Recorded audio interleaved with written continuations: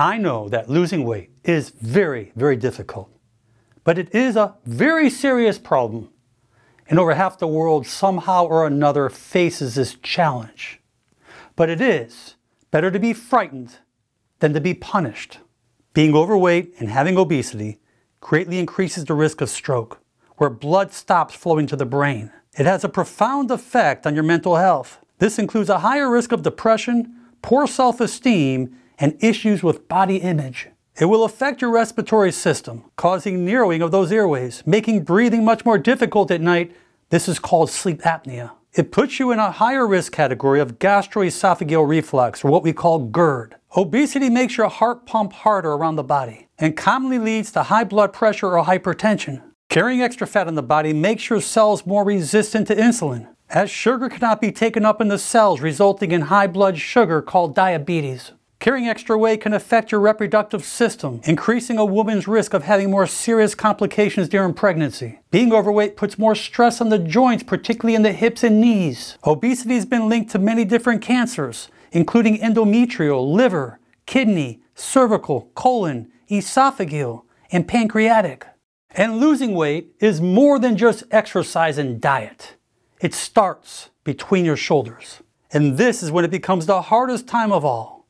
People jump into diets and exercise plans and they become disgusted with themselves. But shifting your mindset about how to lose weight is the most important thing you can do to lose weight. But too many people are looking for the quick fix.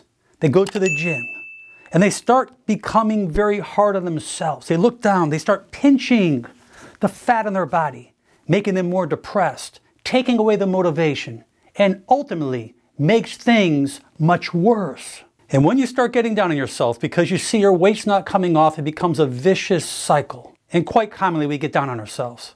The fat's not going away.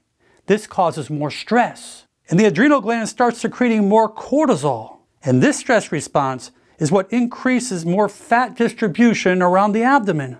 The best way to lose weight is to have the mindset of focusing on small little goals instead of one big goal of losing weight.